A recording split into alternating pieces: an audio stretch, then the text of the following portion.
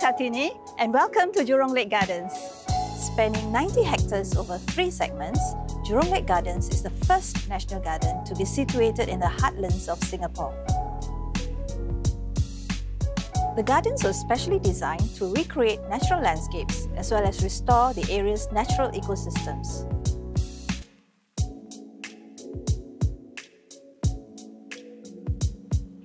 The beautiful grasslands here is home to migratory and resident birds like the scaly-breasted munia and the red-zitting cisticola. This is where bird watchers can enjoy wildlife in a non-intrusive way.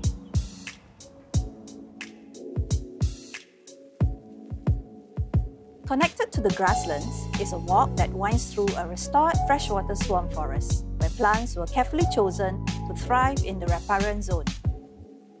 Neram Streams is a series of braided, naturalized waterways running through the gardens into Jurong Lake.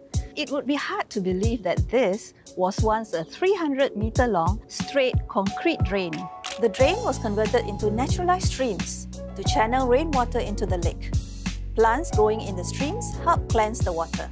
The plants are looking good. Play spaces were also created to nestle within nature.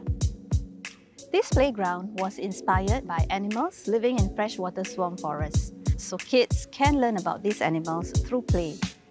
The interesting thing about Clusia Cove is that it runs on a closed-loop water circulation system.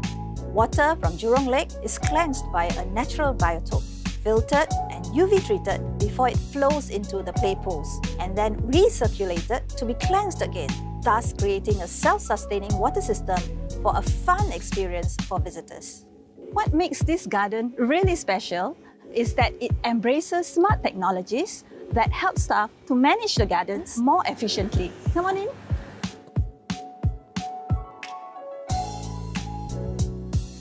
The gardens has brought nature closer to home and embodies Singapore's vision of a city in nature.